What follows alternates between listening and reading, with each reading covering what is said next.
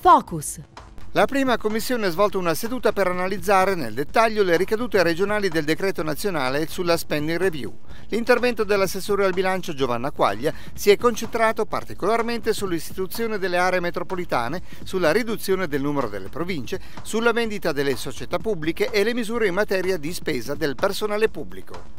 Oggi in commissione si discuterà delle applicazioni regionali dell'IDL 95 più noto come spending review del governo Monti L'assessore Quaglia ci racconterà quali possono essere le ricadute del provvedimento nazionale e i gruppi, credo interessatamente, vedranno anche quali applicazioni specifiche, al di là dell'applicazione nazionale, potrà esserci nell'interesse della Regione.